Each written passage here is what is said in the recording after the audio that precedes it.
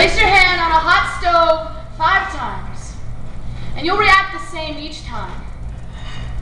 This does not hold true for heartbreak. My mother used to tell me that I know heartbreak. When he left me feeling like half his soul because I'd given a part of myself to him, and he had yet returned. But I guess we just love differently. I've loved with no intention of ever receiving those parts of myself back, hoping. The more I saw him, the less I'd hate about myself.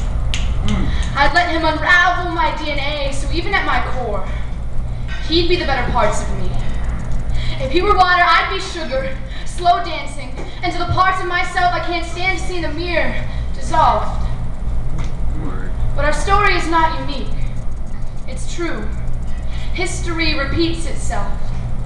We are independent. I only like my name when it falls from your lips like a tiny revolution. We are civil war. Like battle over one soul between two separate bodies, we are. Manifest destiny. Only I was willing to let you enter these lands and rid me of my identity. We are. Great Depression. I never thought you'd be the one to crash. We are. World War II. Your kisses feel like atomic bombs, and I'm still dealing with the aftermath. A willing shipwreck. I've forgotten where I'd come from. This was my favorite part of us. We are 1968. I had a dream. I wasn't the only one who believed of a cause worth dying for. You speak of me like obituaries. We are. Tensions in the Middle East, where suicide bomber meant building.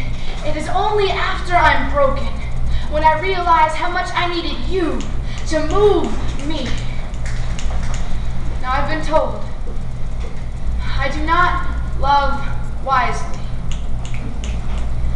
but far too well. Hmm.